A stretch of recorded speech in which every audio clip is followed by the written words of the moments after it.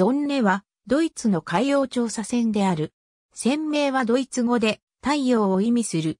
2014年に新たに建造された同盟の後継船に任務を譲り、現在はアルゼンチン海軍に所属する調査船として使用されている。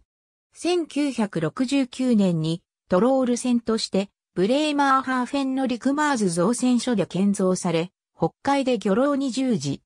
その後は RF フォルシュングスシフィルト GmbH によって買い取られ、1978年にシーカをアンターウェザー造船所で海洋調査船に改装された。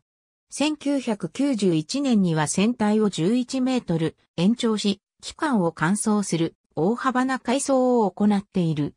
ドイツ連邦教育研究所が年間250日をチャーターして、主として太平洋とインド洋における生物学、海底地質学の調査に使用。2014年に新型の2代目ゾンネに交代するまでの36年間にわたり、ドイツの主要な海洋調査船として活動した。固有の音響探査装備として海底地形をマッピングするマルチビームソナーシステムを搭載。船内には21の研究室を備え、甲板上にはコンテナラボを増設可能。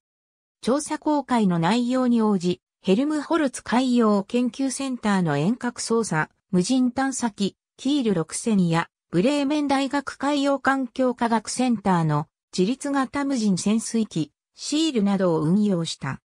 ゾンネは1977年から2014年までの間に300回以上の科学調査公開を行い、海洋学、生物学から資源探査まで幅広い分野にわたる研究のプラットフォームとなった。2012年3月から約1ヶ月をかけ、ブレーメン大学海洋研究開発機構など日独共同チームによって東日本大震災の震源である三陸沖海底の調査が行われた。この調査はドイツ連邦教育研究所及びドイツ研究振興協会の資金提供を受け、無人潜水機を投入した音響探査、実質サンプル取得、海底地震計設置などが実施された。2013年4月からは台湾大学などと協力し、台湾南西海域にてメタンハイドレート探査を行った。調査公開の終了後に一部の設備を台湾の調査船、海検5号に提供している。